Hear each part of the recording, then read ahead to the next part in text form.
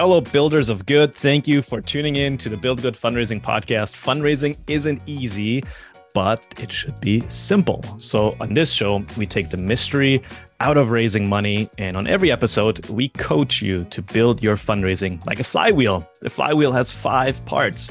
Number one is listening to donors. Number two is engaging donors. Number three is asking the right people for the right things. Number four is celebrating every gift. And number five is reporting back in a real time and responsive way.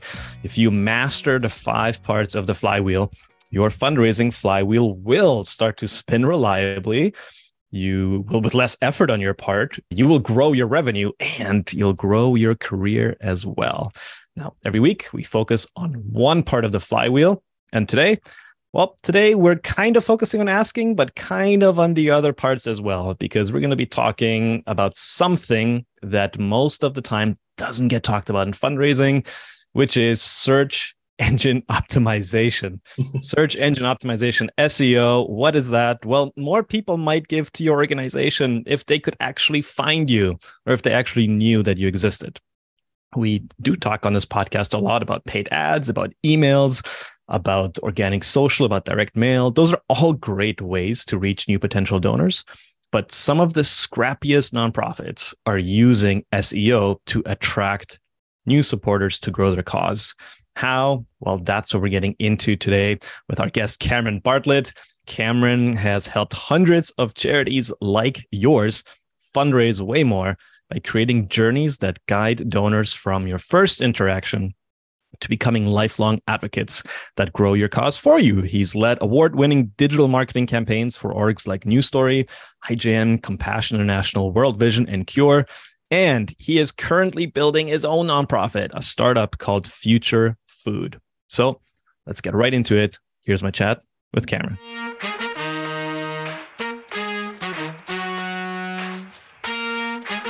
Hey, Cameron. Hey, Mike. How's it going? Good. Thank, thanks for coming on the pod. I, I, you and I chat on the phone every now and again, but it's good to finally yeah. have you on here. Yeah, it's really great. Mike, you sound great through that microphone, by the way. And that pitch you just gave was awesome. Like, I love how you walk everyone through this flywheel and like these simple steps. They're brilliant. So good. Cool. Well, here's what we're going to do. We're going to talk about SEO. And you are you occupy this interesting positioning in my mind. Typically, typically you think of somebody, you think of like one specific thing. And when I think of you, I think of like four or five things where you do really, really well.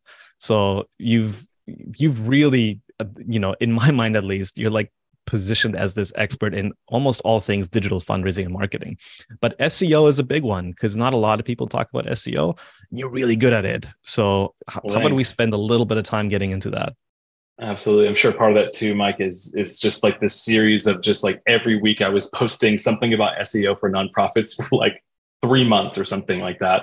So I'm sure you saw a bunch of those. And I think those are a lot of the things that we'll talk about today. Some really great ways. Like you mentioned, scrappy nonprofits, and that doesn't mean of any size. Like that could be any size, right? Small nonprofits. They're like, how do we do something without the budgets of a larger nonprofit or a bigger nonprofit? It's like, hey, we have a lot of resources and so forth, but like, how do we get really thrifty here? How do we actually like find ways to invest without using big budgets and still get great great results and so seo is one of those things it's it's a long game for sure like it's something that you invest in over time but once you have built a strategy, it's something that keeps giving back and keeps allowing you to grow. And, and it can make up for other strategies that aren't working. I think of one really good example, right? I was working with an organization called the Exodus Road. And it was during, we were running ads that we had relied upon for gaining, I think, about a thousand new leads a month from Facebook and Instagram ads and, and some YouTube and so forth. But when we, we were going through a time where we as a social issue uh, nonprofit facebook has that that label and it, and it ropes in anything from like you know humanitarian work to political work. And so because it's all in that one category it was during an election and so we they kind of paused all uh, all social issue ads during that time. So we really relied on not just the lead generation but obviously like donor acquisition and so forth. And so because we couldn't run ads on facebook and instagram which was such a big hit we said, hey, what if we invest in our organic search strategy instead? It's something different. I don't, I don't think we'll see the same kind of results, but let's just see what we can do. And in just a short period of time, just a few months, we were able to increase our search traffic by four times, making up for almost all of those thousand leads we would normally be getting. And new donors were coming in because of it. In fact, we even, I remember like us sitting, opening this check for from a donor that had found us through Google, like just searching and being like human trafficking nonprofits, found us, started doing their research, and donated a quarter of a million dollars, $250,000 on this check. And when we asked them why, it was because of the search strategy that we had come up with and other content and so forth that led them to actually giving. And it was really, really amazing. So for your nonprofit of any size, like you can do these same types of things. Yeah. So you already mentioned that this is a search strategy. We're going to get into that. So here's here's I, I tried to write some teasers for the podcast and I tried to write them in a way that were good for SEO. So since I've got you on the call, here's what I wrote. Why is SEO important for your nonprofit? How does SEO for nonprofits even work? How can you mm-hmm. begin optimizing your online content so more people find you? How can you identify relevant keywords for your charity? How long does it take to see results from your nonprofit's SEO efforts? What tools can a nonprofit use for SEO? And how can you track and measure your progress on your SEO efforts? Now, the reason I think all of these are important to get into is because I went to Google and I started typing like, you know, the the autocomplete, which shows you what people are searching for on SEO and then I asked ChatGPT what are the most common questions people might have about SEO and nonprofits. So we're going to get into that. Is is how do you have a search strategy so you know how to change the words you use on your website, on your blog post, everywhere else? Changing the words you use is free, yeah. and the way you change those words has an impact on how people find you when they go and search for a topic. So let's start here. What is SEO? Give us a give us a quick primer.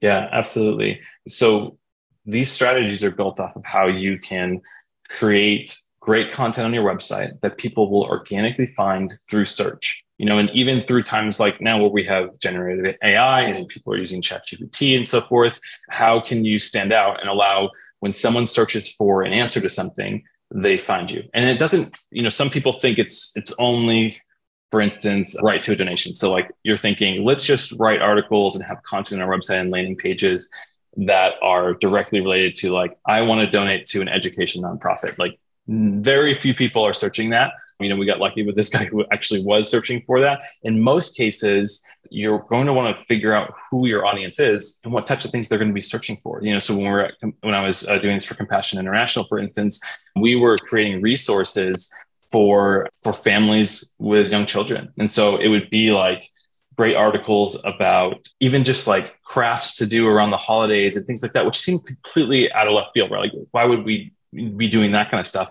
But people would then come to the website, they'd engage with that content, they'd download some of our stuff, they'd join our email list, and we'd be able to follow up with them if we knew that if they really cared about their children, their grandchildren, and we're investing in like time with them and doing these crafts together and all that stuff, recipes from different countries where we were working, things like that. We made it really fun and engaging. So it wasn't just like really clear, like direct answers about like really stark statistics or something. It was something fun and engaging, and it led to a lead generating tool, which will be a really key part of what we talk about today.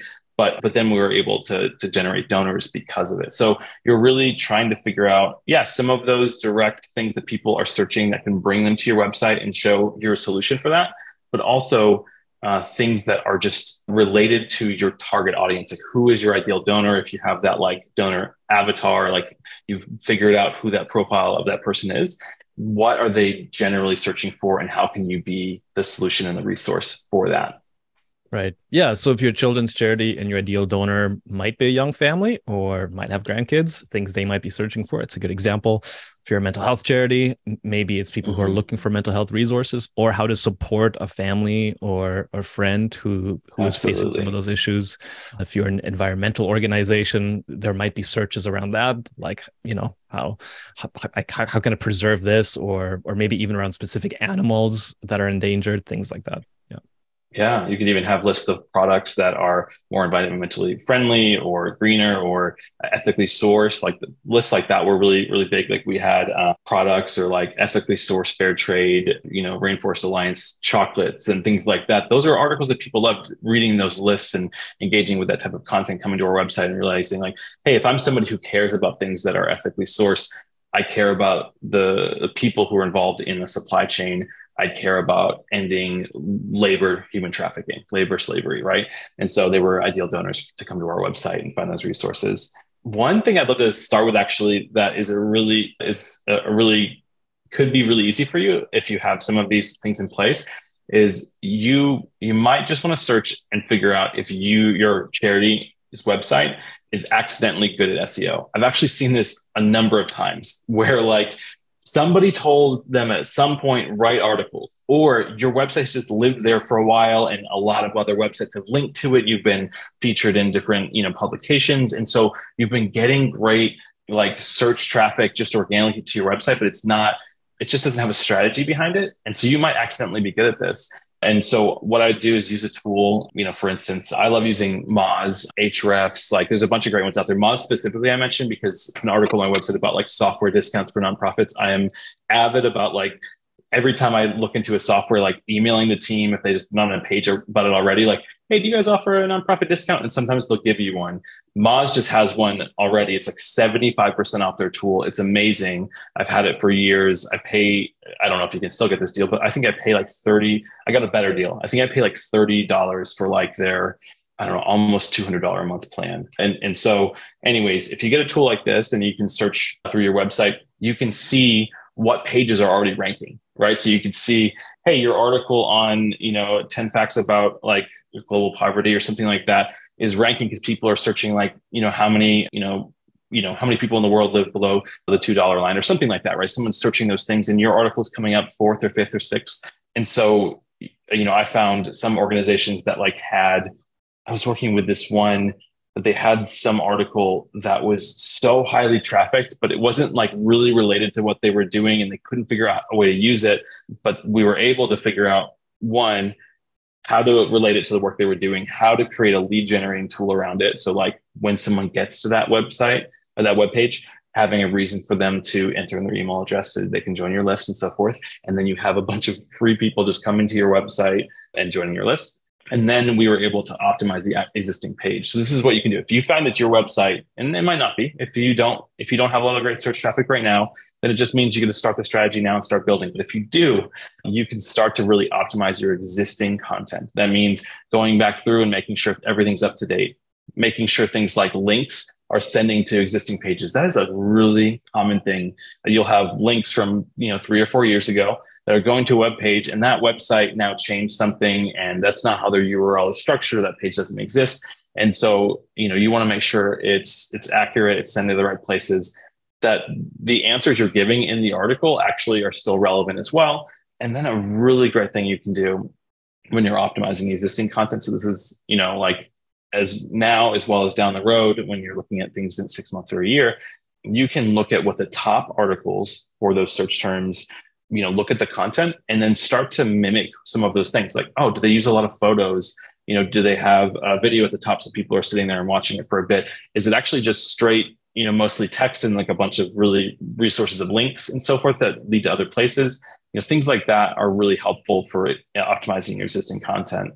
Um, and then you know, like there are a bunch of other things as well. But I would start there and see does your nonprofit already have have some traffic that's coming to your website to certain pages, and can you start to do the things to signal to Google and to and to search visitors that your resources are really valuable and that they should actually start moving up in rankings, meaning you'll get more traffic, more leads, and more potential donors.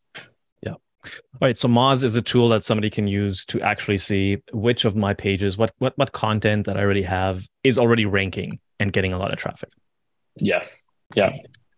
And um, then and then that'll tell you, hey, maybe I'm getting more traffic than I thought I was. I never even looked at it.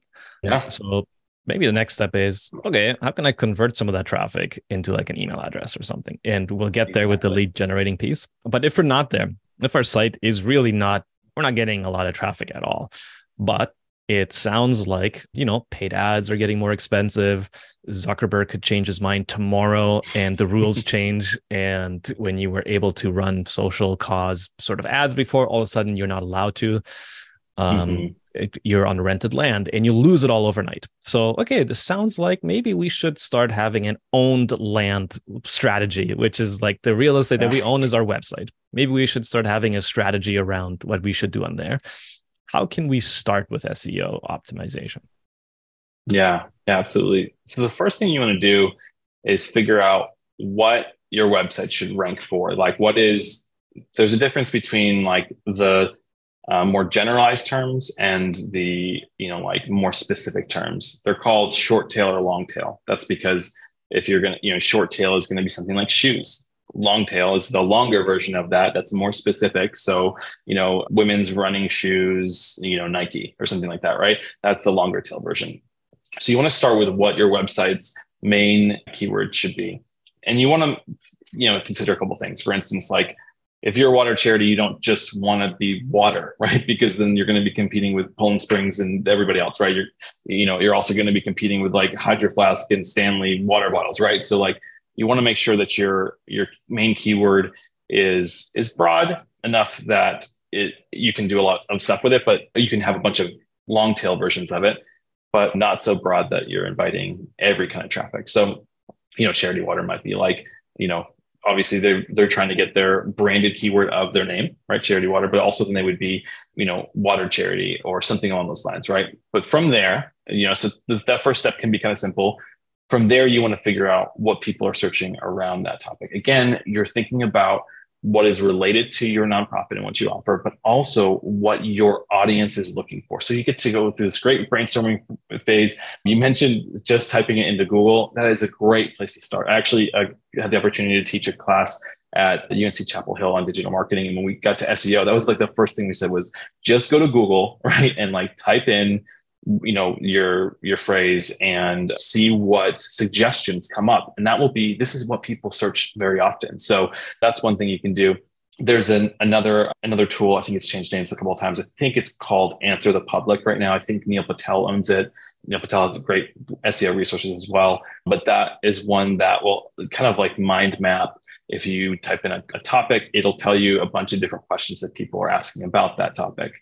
You can also use, there are free tools. Like Google has one. If you just set up a, an ad account, again, you don't have to even spend any money, just set up a, an ad account that you're going to use. They have a, a tool called their keyword finder, I believe it's called. And so that's free. You can just, again, type in search terms and it'll start to show you what people are searching and also how many people are searching for it. When you're finding those keywords, right, especially the longer tail ones, the you know the women's Nike shoes, right? You want to be able to look for two factors. Okay, so one is you want to look at how much traffic it's getting, right? You want to make sure that it's getting a lot of traffic. And ideally, it would have low competition.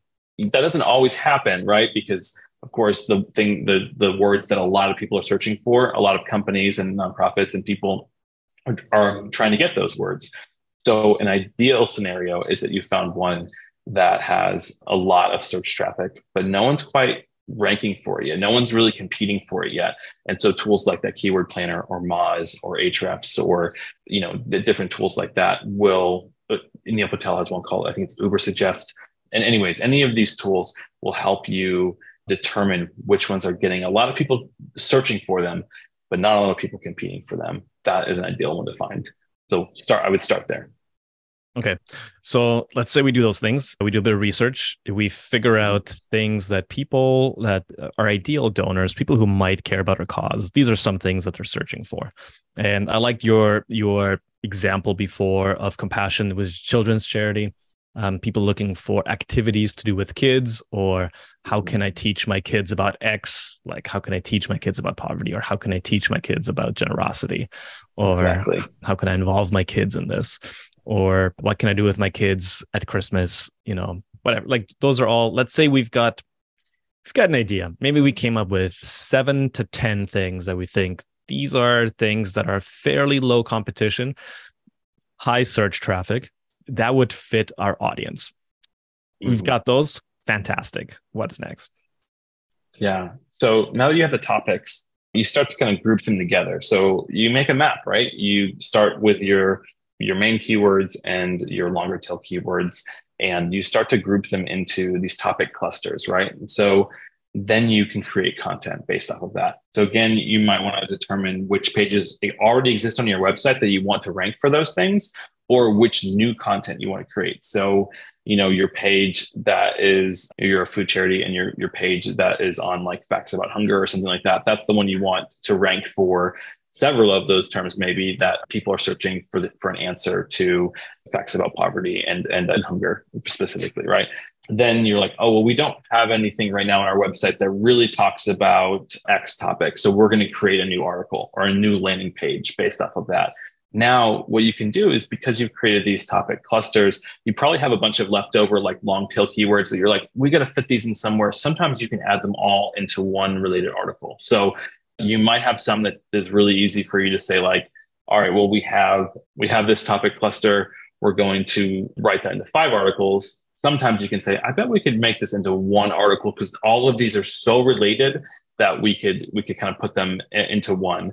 And in that case, you just start writing things and you can use some of those other keywords as your as the format. So, you know, you're writing something and I feel like the on the spot answers are going to be not good. you right. Let's just go back to shoes because it's nice and easy, right? You're writing and you're like, you're writing an article about, you know, running shoes. And in that, you're gonna you're gonna write in there maybe a topic that's like how to you know people might ask questions like which shoes are most durable and won't you know because you're running a lot and there's a lot of friction and you're going to like wear through the shoes which ones will last longer well then then another topic it might be like how important is it to have light shoes while you're running so that you can run longer distances well you might also say like uh, in that same article, how important is arch support as you're running, right? And so now each of those are different topics within the article that answer people's questions that are specifically related to when, how to buy running shoes, the things you want to buy, or things you want to get. Think about when, when, and consider when, when purchasing them, right? So your article could follow that same format. Now, one other really great thing here, because I want to tie back to it again, is creating a lead generating tool. You might have something that is just really great for your website and it's just working and it's converting and you don't have to specialize it right? It's just like hey this is something that like we could put on every page of our website and people who are reading any of this content would be interested in. And and so you could just throughout your web throughout this article have little calls to action. That's just like enter your email address or you can have other tools that help you like create pop-ups and stuff like that. Or you could create content that's specific to this article or a, a cluster of articles or something like that that you're like hey if someone is right now reading about arch support for running shoes like they're going to be interested in a more in-depth resource on like how to how to find you know the right running shoe for you right? And so then you create a specialized download or experience or you know email series or something that they can sign up for that's specific to that article. That's an ideal scenario. Of course you don't want to have to like create a new lead gen for every single page you're creating but you could have a few specialized ones that really cover a whole group of things you know? So for instance um, you know, I had a, a, nonprofit that was like they were creating resources for like religious institutions and so forth. And so if they were interested in studies for adults, they might not be interested in studies for, you know, like for children, right? And so like it, we had different resources based off of those different segments, right? Those different articles that had anything to do with like resources specifically for, you know, women's groups or men's groups or things like that was different than we would offer when people were searching for children's resources, right? And so we didn't, it didn't mean we had to create, you know, one for every page of our website. We didn't have dozens and dozens of different lead opt-ins. We just had a few that, that covered certain categories. And so again, you could either have one that's just super powerful. You're like, look, any page that someone lands on, they're going to opt into this. Great. Use that. But if you feel like, hey, this content's a little bit outside of what we normally do, we'd really like to create a specialized thing, especially that compassionate example that I gave where we created this, these children's resources really the lead gen like it should go along with it and it did right? Like it was they were like downloadable i think like coloring pages and activities and cut out things that you could do at you know at home at christmas time and you could make like these little ornaments and all, all kinds of fun stuff. But it made sense for that to be the, the opt-in for that that to be the reason that people were giving their email address because it was so related to the content that they were reading Right. So we did a bunch of research. We've got keywords. So we've got short tail and long tail. Around long tail, we created some clusters and we came up with like, let's say like three content pillars, like three clusters. These are three main themes we're going to create content around. And we're going to start like writing blog posts that answer some of these questions. And then there's going to be a lead generator, that lead generating tool, a resource that, that we got into a little bit already. Let's talk about mm-hmm. that a little bit. So, what is a lead generating resource? What what does it look like? What's the idea behind it? How does it work? Yeah, absolutely. So, you want to find a way for any visitor that comes to your website, if they're not ready to give, which let's be honest, the first time you visit a website, you're usually not ready to give and then do you leave that? And then you never come back maybe. That could happen right? Like maybe you remember the website. Maybe it was a friend that told you about it so you can ask that friend again. But in a lot of cases like especially if someone's just searching and clicking through to you they might be ending up on your website and then never come back again. So obviously there are ways that you can follow up with them. You could set up like retargeting ads to anyone who visits your website. You know shows them the ads. That's great. But again you're spending money to do that. And we talked about the, the difference of like you know running something that's on somebody else's platform as opposed to you owning an audience which is what you'd be doing here when you get someone's email address right you want to get someone's email address so you can send them through your email automation so you can follow up with them personally if you want to.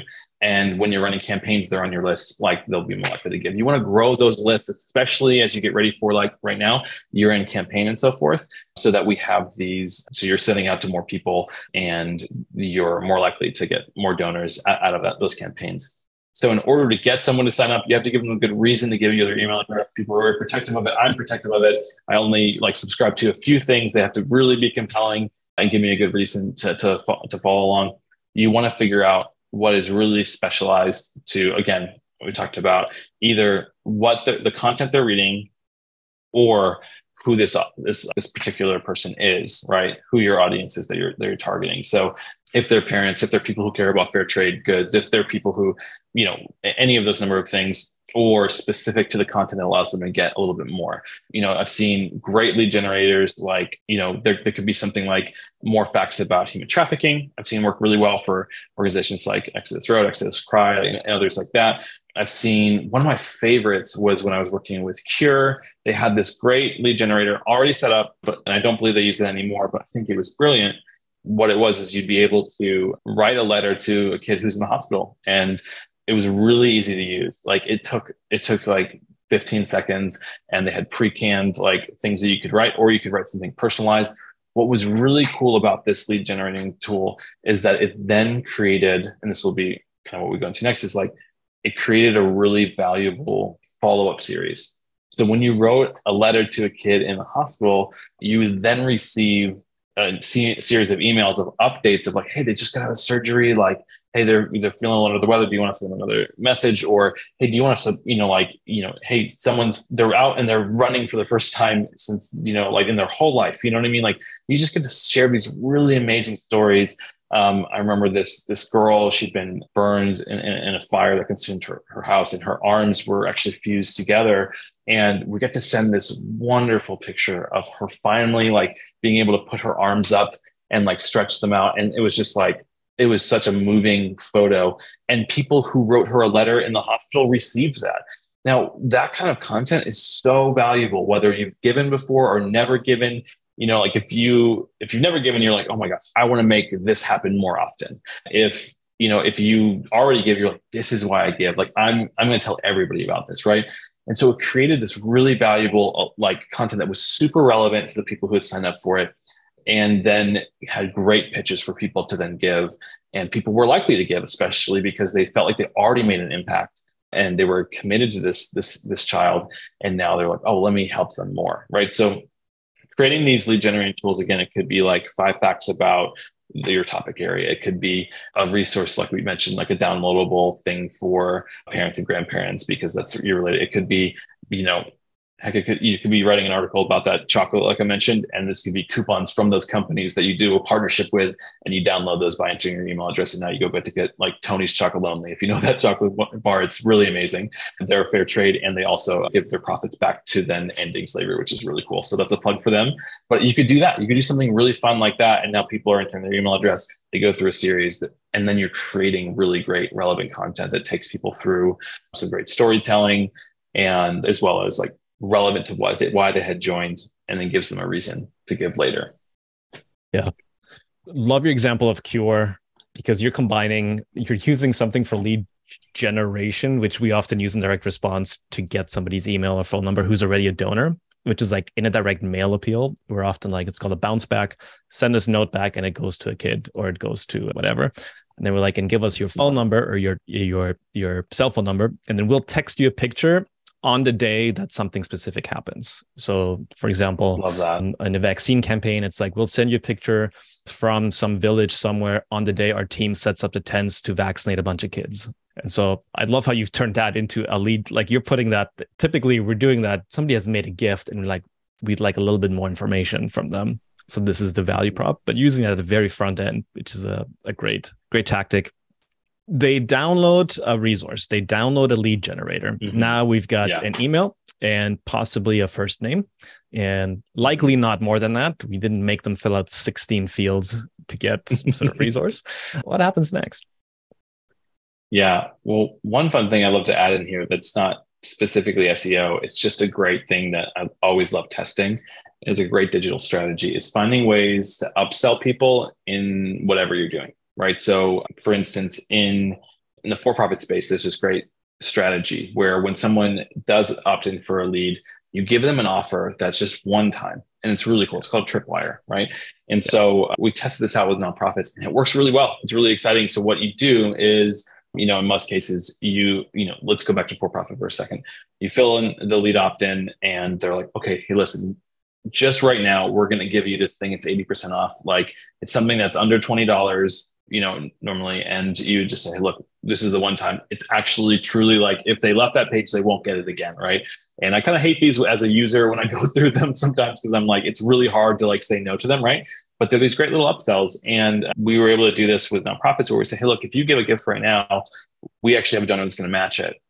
It's just now, it's we're going we're to double it. So if you give now, yeah, you'll be able to do that. So really great. Like a lot, like some people, again, everything's down to is down to like small percentages. You get a certain amount of traffic and certain amount actually become a lead and a certain amount maybe become a donor. And so a lot of people would join the list and it might take them months before they can, became a, a donor. And so we wanted to give people that option right now as they're taking action, as they're seeing that like this content is relevant, make a donation, $5, $10, $20, whatever, right? And we'll match it. And we saw people doing it. It actually started to kind of recoup the cost of some of like our even the lead ads that we're sending people to those pages. And of course, when it's organic, it's just free anyways. But like we started to see some of those people actually convert, which is really, really cool. Again, then you want to always find ways that people can skip, skip steps too. So you want to make sure like your donation software, when someone gives one time, is also seamlessly upselling them to recurring. So you don't want to just, for instance, have something that's just a checkbox It's like I want to give one time or recurring because everyone's just thinking like I'm just I'm giving ten dollars right now. That's all I'm doing, right? But if your donation stuff like First Minutes Fundraise Up does this really well, Funraise now does this too, and others where you go to give, say it's hundred dollars, and instead of them being like, "Hey, do you want to give that every month?" You're like, "No, I saved up hundred dollars. Are you kidding me? I'm not ready to give this every month."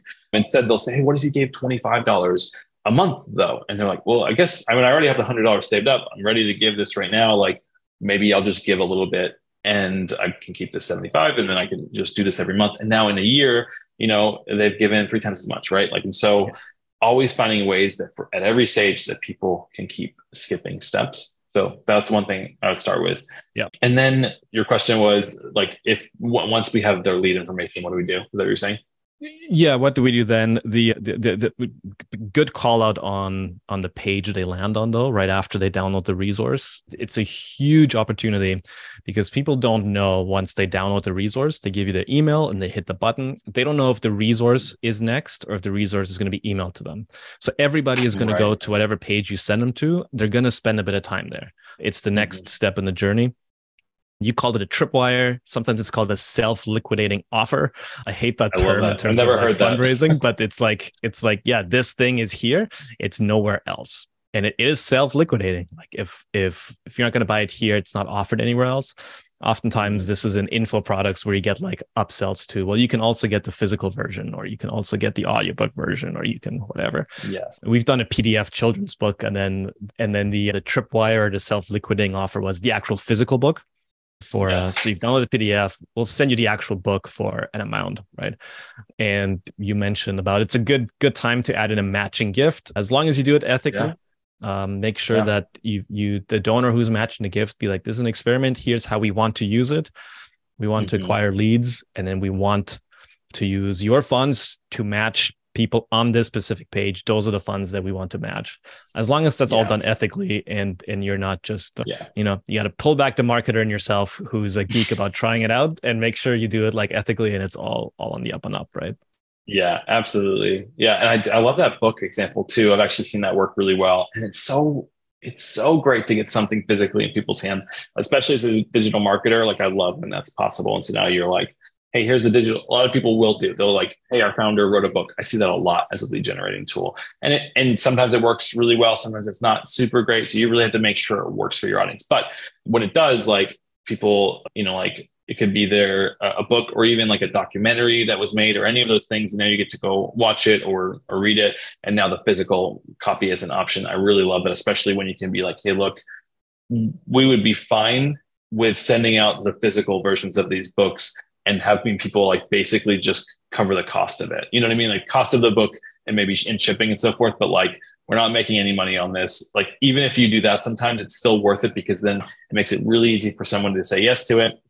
And then you get something in their hands and then they like see it on themselves. Like again, as a digital marketer, I love like also seeing ways that you can yeah. tie in like physical goods and so forth to the experience. Yeah. So and then and then you've got their address. And, and then you've got their address. Yeah. That's smart. I love yeah. that. Yeah. So once they're on your list, like you do want to make sure you create a series. Like I mentioned, Cure had this wonderful series that it was talking about the work they did, but then also had those built-in updates on that specific child that you just written a letter to. And because they're in the hospital, like that, that update is going to come soon, right? Like they're going in for surgery in two days, right?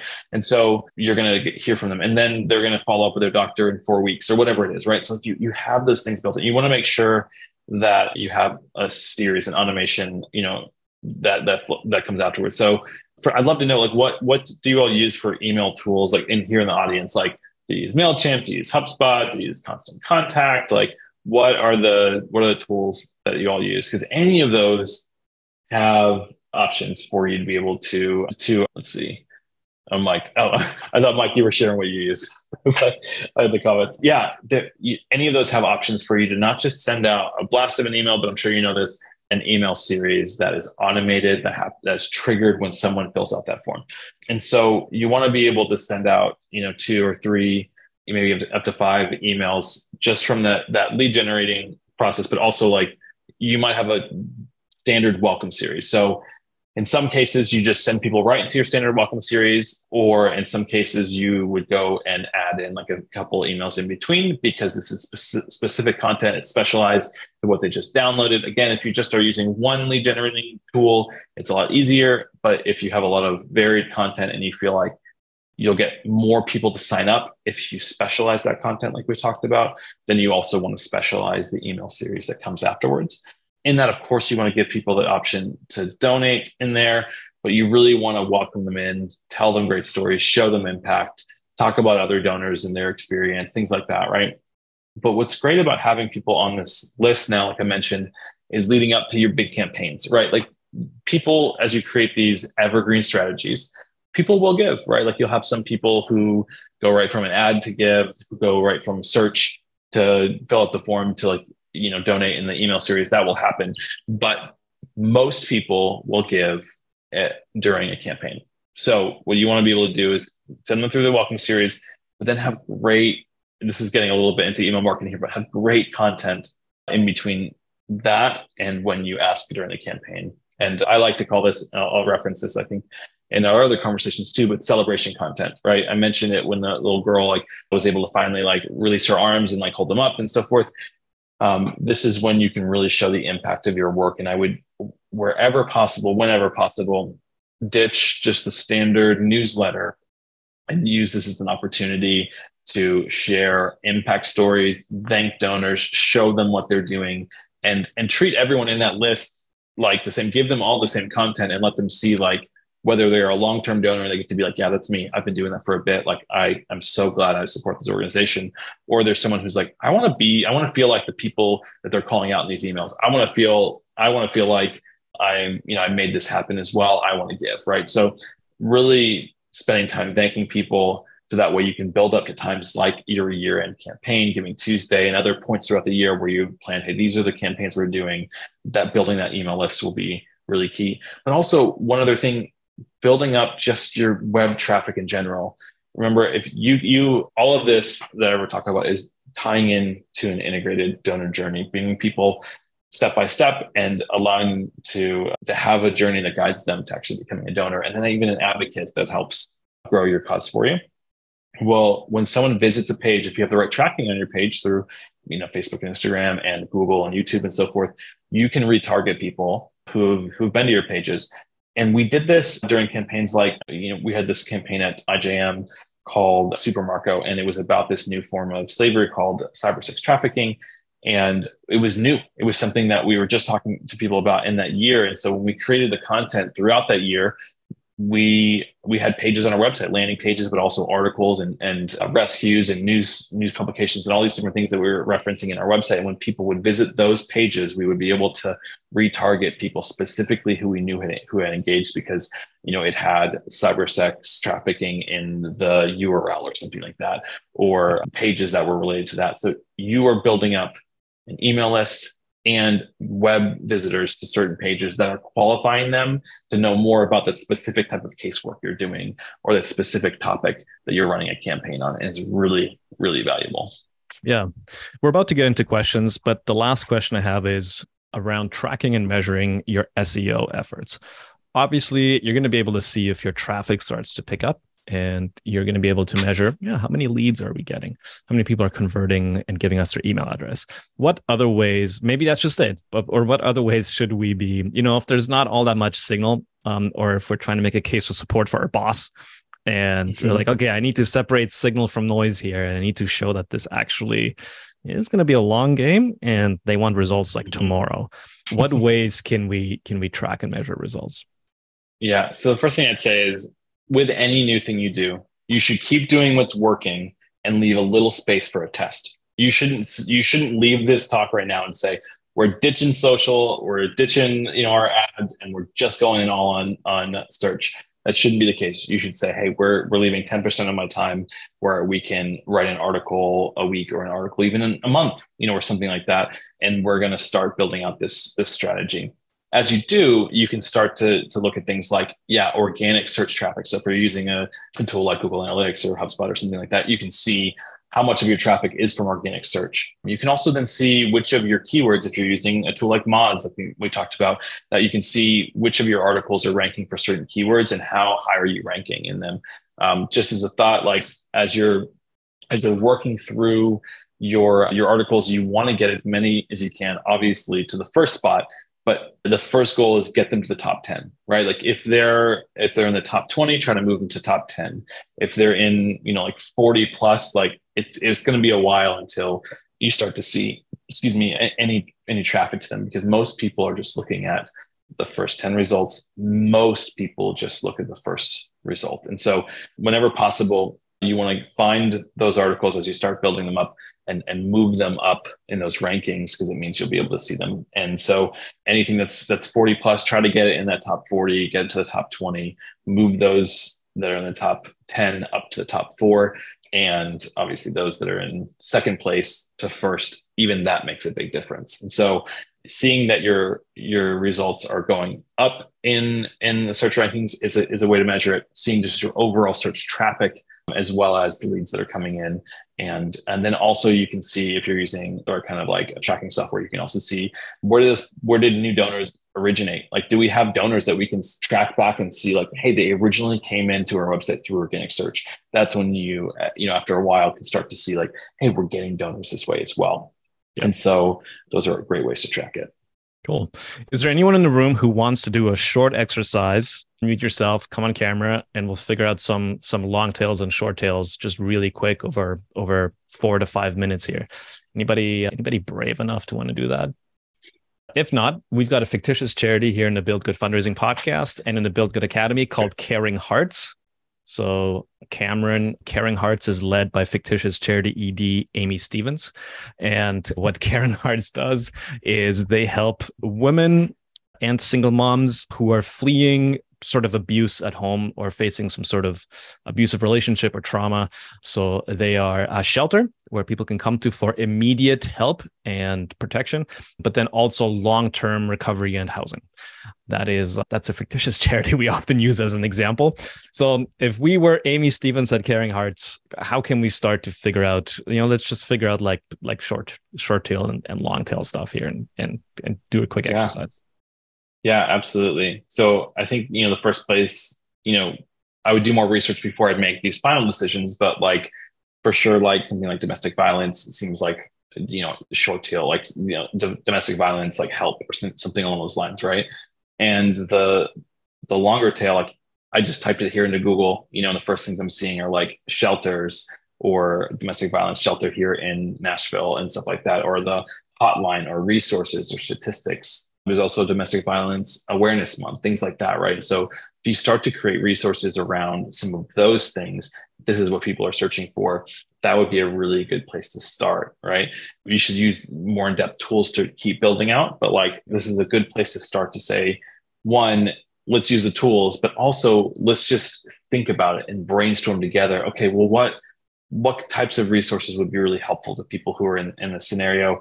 Also, not just for people who are searching for help, but also those who are trying to help their family members or their friends and so forth too. And so you start to think about, okay, I think, I think one, let's create resources that will help those that we're serving, but also that will help bring in new, new supporters and help us grow and help us help more people. Right. And so I would, I would think too, like, just to clarify, this doesn't mean you stop content like you should still tell great stories, right? Like you could still use your blog or wherever you're posting these to tell stories of people who've gone through their program, your program, even though that's not going to rank, right? That's okay. But but then I would say so include more content like that. I would then one thing that's really helpful, by the way, once you start to kind of build this stuff out, is telling Google and users which pages should rank for each of those things. So making sure you're sending links between your articles to to these other pages. So as I write out like domestic violence shelters here in Nashville, for instance, say that we're a local charity, then I would also from I would also include the link to the hotline page, you know, and on the hotline page, I would say, you know, like, here's the hotline, here's where to call. But also if you're looking for immediate support, like go to go to one of these places and I would link back to the domestic violence shelter page, right? And uh, the list of all of those. Also, as people are looking for stats, I would also include those things and I would be linking back and forth between pages. One other great thing you can do is if you don't have the great resources on your website, send people to other places. This can be, it can feel a little bit weird. Like, oh, it makes sense that I would link to my website, but like, why would I link out to other people?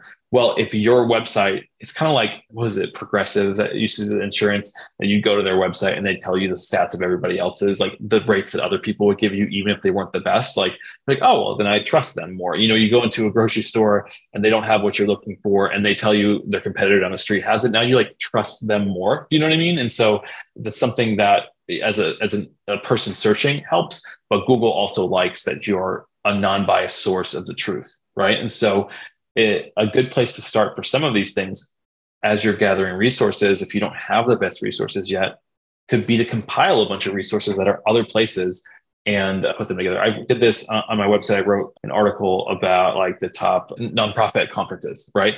And for a while, it was kind of like in the top 10, but like it wasn't getting a ton of traffic.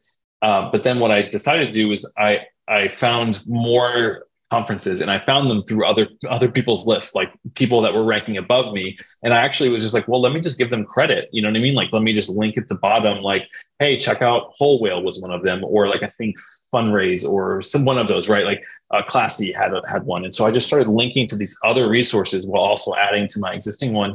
And now sometimes I get the first spot, and like I did other things to optimize it, but like things like that really helped where I could link out to other resources and show, hey, not only am, am I a good site for finding some of these things, but I'll show you other places too that can help with your search ranking, but it also just helps take the burden off of you to like have all the best answers. Great resources that link to other places. And so I would find other great domestic violence resources online for this, this organization, link from lists of things as well as to great articles and downloads from other websites as well. Yeah. Yeah. It's a good example because uh, you've got two audiences if you're caring hearts. You've got, you actually want women to find you who are fleeing a situation. They want to easy to find, like they know where to go. You want to be the place to go to. At the same time, your other audience is like people who may want to support this, right? So you're optimizing for two different audiences. And a lot of nonprofits are any nonprofit who has any earned revenue now, universities struggle with this, right? Do we optimize for finding new students or do we optimize for donors or do we optimize for like which audiences do we do we try to to capture more of? Hey man thanks for thanks for hanging out with us today. This is part one. We're doing a part two. And part two we're going to focus more on donor journeys and and some some creative ideas around that. That's happening later this summer. Thank you all for being in the room. That is all for today. Here's my short action plan for you and it's to sign up for moz see what pages that you already have are ranking well and then number three, the pages are already ranking well, just like see if you can improve them, copy them, do something similar. But, but three is just use the simple tools we talked about today. Google searches, even questions your donors are asking you if you get phone calls from donors that have questions or maybe you already have an faq section on your website you've already thought about some content that people search for just try to come up with content pillars that you can create some content around and let that be your guide as you create fresh content for your website well, as always, thank you for hanging out with us around the fundraising campfire. If you want to be part of future Build Good Lives, just go to buildgood.com. There's many different places to put in your email address. The big secret is that it all just goes into one place and you get invited to future Build Good Lives. And you'll also get some helpful fundraising tips. If you're listening to this, you're my kind of people. I'm your kind of people. Thank you for building good in the world. I'm in your corner cheering you on.